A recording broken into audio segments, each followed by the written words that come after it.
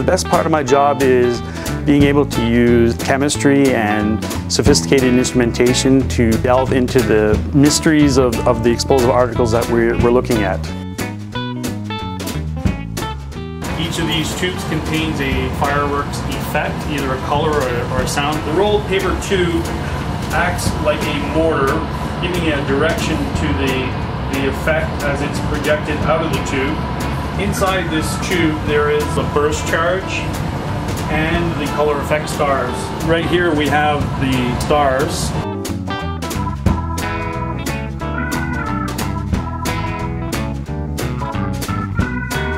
Inside we have an additional pyrotechnic composition.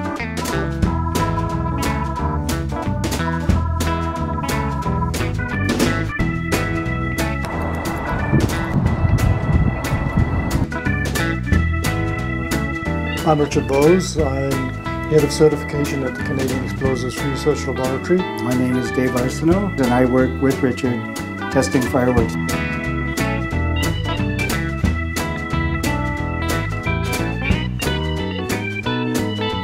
The source of the radiation is up here and it will shoot the x-rays down through the tubes.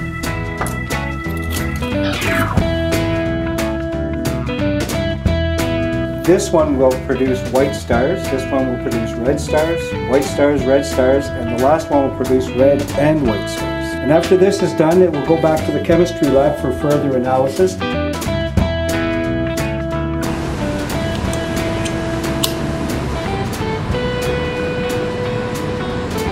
So this instrument is a scanning electron microscope. It allows us to look more closely at uh, fireworks components. The one that we're going to look at right now is actually some aluminum powder. So we have all of the different aluminum particles here that we've looked at under the microscope and we're able to measure the different uh, diameters. You know, while they look really pretty in the sky, there's a, a lot of uh, work that goes into making sure that they are a safe fun activity for Canadians.